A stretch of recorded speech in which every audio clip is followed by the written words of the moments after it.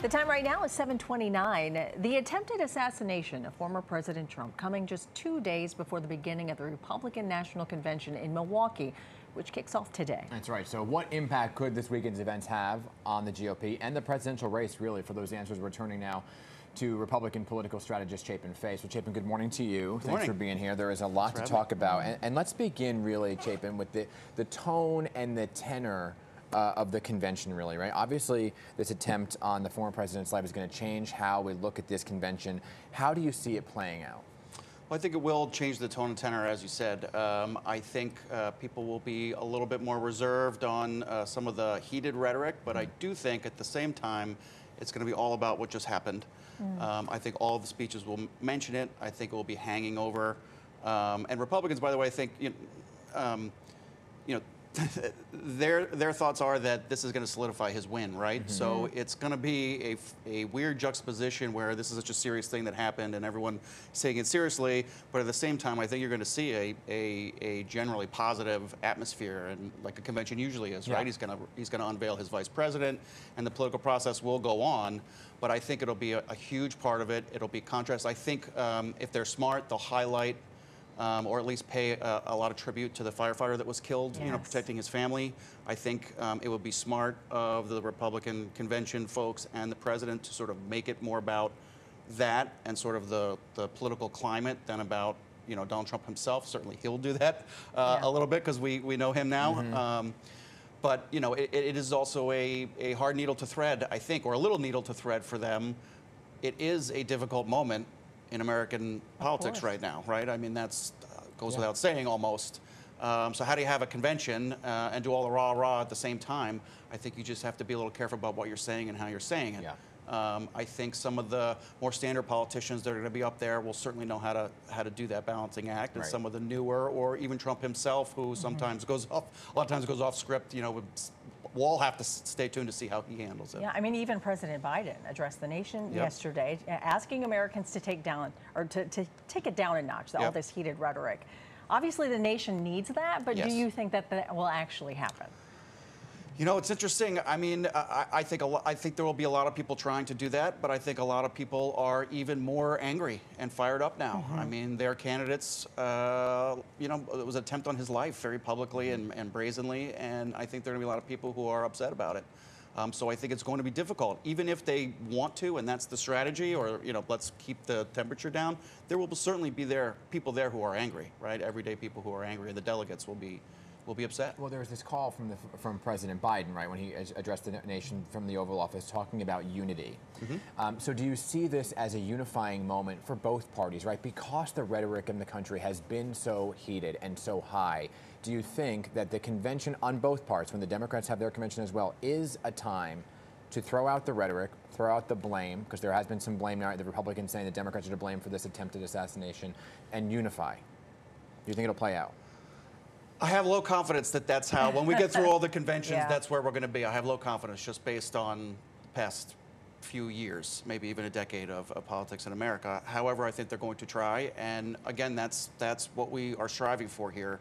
But again, you know, we're trying to take down the temperature. Think about what's happening, right? We're trying to take down the temperature point where normally, even in a non, you know, uh, as not as hyper partisan uh, and rancorous election, is still the attack the other guy. But it could be as simple as the as as the former president spoke to the New York Post, and he said he spoke to President Biden, and that it was he could have said whatever he wanted to say. It was a lovely call, Yep. short and lovely. Do you think you'll see that play out at the convention in terms of the president possibly saying, "Look, I spoke to the president, and, and it could be a positive"? I think so. I think he will certainly say that. I think Donald Trump is uh, someone who will talk candidly about phone calls just like that, Yeah. right? Uh, I think he will say that. And I, listen, you know, this is also an opportunity, right? There are people who don't like the rhetoric on either side, and there are certainly Republicans who don't like the rhetoric from uh, the Trump campaign. And this is a moment to bring sort of everyone together.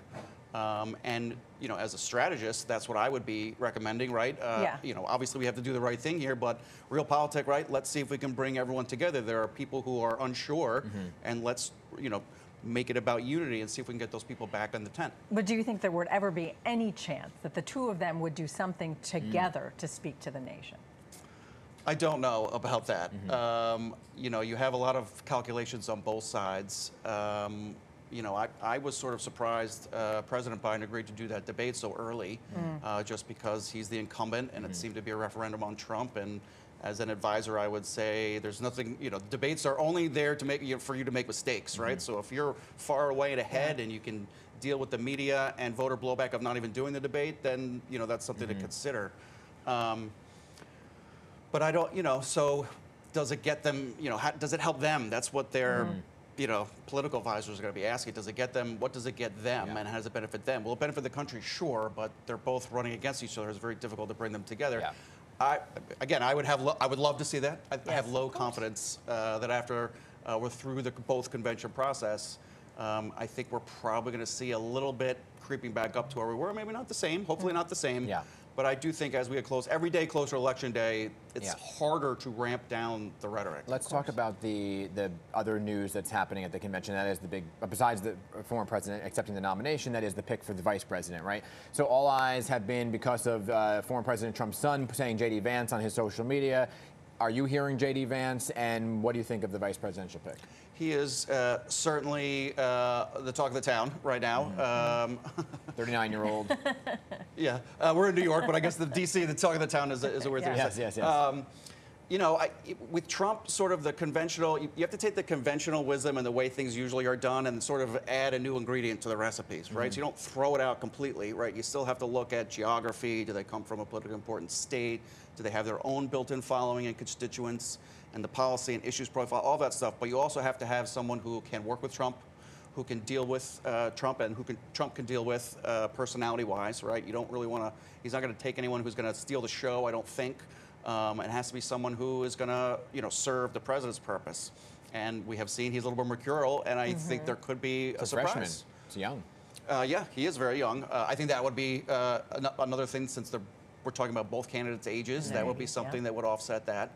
Um, you know, and I think I think you know when you compare it to past uh, years, I think there's a lot of talented Republicans waiting, you know, in the wings. There's sort of a bench now since Trump has been. Uh, the mantle carrier for the past couple of years. I do think, like including Senator Vance and Senator Yeah. Tim Scott and Nikki Haley, though I, I don't know that she's going to be the one because because of the primaries. Uh, but these are all very talented politicians who have a future. Um, so I, I'm actually excited and uplifted for that and to Yeah. see who Trump picks. And you also have to remember he's picking his, you know, successor, mantle carrier, head of the party moving forward. So. You know, I don't know that President Trump thinks a lot about that, but certainly the mm. people around him Of are course. thinking about that. Well, the wait is almost over. Yeah. All right, Chapin Fay, thanks so much for taking the time to come in and speak with us this morning. Of course, thanks for having me.